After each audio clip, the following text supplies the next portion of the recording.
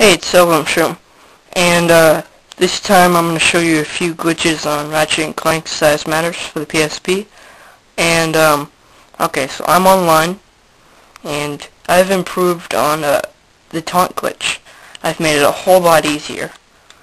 And, um, I don't know, I think it's pretty cool, but uh, there are some cases where you'd want to use this version of the glitch instead of the original taunt glitch. But, um, I'll show you what I'm talking about. Okay, so first, just go under any platform, taunt, and then right after you taunt, take out the disc, and leave it out, and then taunt one more time, your game will freeze, and then it will load when you put the disc back in,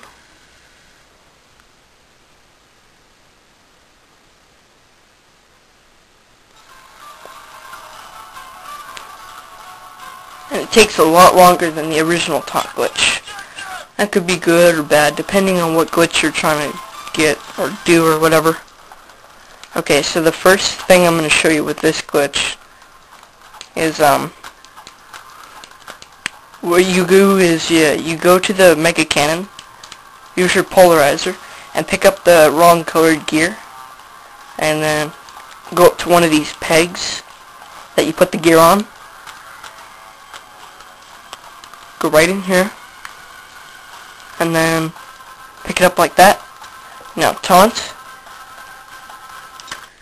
take out the disc and put it back in, okay, and then taunt one more time, except right after you press triangle, lean toward the peg. That should happen.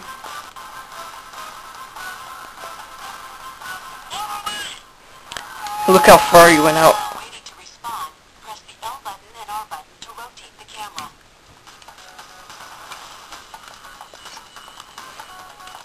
And uh, you can do this with any colored gear, except I just recommend the wrong color, so that you don't accidentally put it in the peg, like I did just now. Uh, oh well. And, um, that's pretty much it. But, uh, this could help you, like if you're really bad at the original version, like me. I'm pretty bad at it. But, um, this will make it easier at least.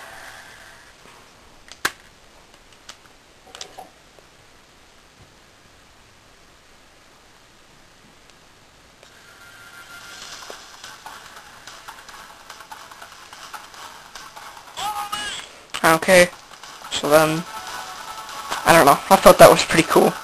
But, uh, anyway, go try this out, tell me what you can find with it, and, um, well, you know, actually, I have one more thing to show you. So, I'll cut right here. Okay, I'm on uh, Island Escape. I thought it was this uh, glitch was pretty cool, but it's also useless, but whatever. Okay, so basically taunt. Take out your disc and leave it out. And then don't taunt again. But this time, just jump in the water the shark will eat you and then your game will freeze. Put back in the disk and it'll load.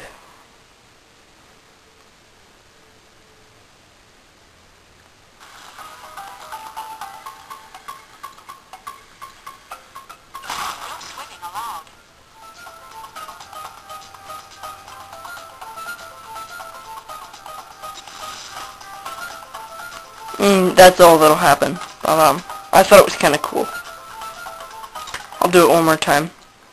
So just taunt and leave out the disc and jump in the water. And then you can stay like this for as long as you want and then you won't get that 4, 3, 2, 1 respawn thing. I don't know. I thought it was cool. But like I said, it's useless. Alright, well, anyway, check out my other videos and don't forget to rate and comment and you can subscribe if you liked it. See ya.